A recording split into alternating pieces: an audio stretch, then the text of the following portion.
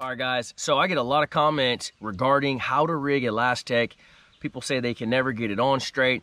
I personally never had that problem, so I thought that was kind of odd, but I wanted to address it. Um, and I think I realized one of the issues that people probably have. So right here, I got some razor shads.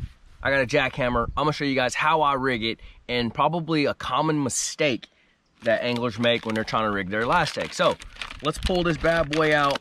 Right off the bat, you have to understand how durable this plastic is. It's not like your typical soft plastic. This is very, very strong ElaZtech, okay? So with that being said, you can be much more aggressive with this stuff. Go ahead and grab it. Don't be all timid and, and, and trying to put it on perfectly straight. You can really tug on this stuff. So watch this.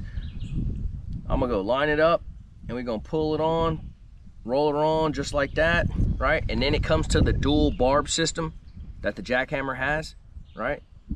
Let me get my skirt out the way here. Okay, there we go. Now you can see that dual barb system on that jackhammer. Let's just go ahead and forcefully, and I mean I'm really giving that some force. And look how straight that is. First time, no problem. And the same goes for jig heads, my TRDs, my swim baits, the diesel minnows.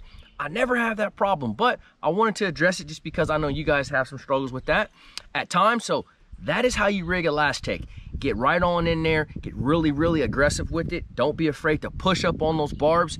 Use a dab of super glue on a lot of other baits and it'll last you a really long time. So here you go. I promise you, you won't catch enough fish to break this off. This will be the only one you use for the day.